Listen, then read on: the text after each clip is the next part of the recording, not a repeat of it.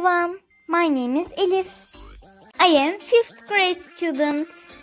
I am from Turkey. I speak Turkish and a little English. I am 11 years old. I like going to the cinema. I enjoy listening to music. I can swim, but I can't play tennis. I will now tell you about my daily routine. Hmm. I wake up early morning. I have breakfast and I attend online classes.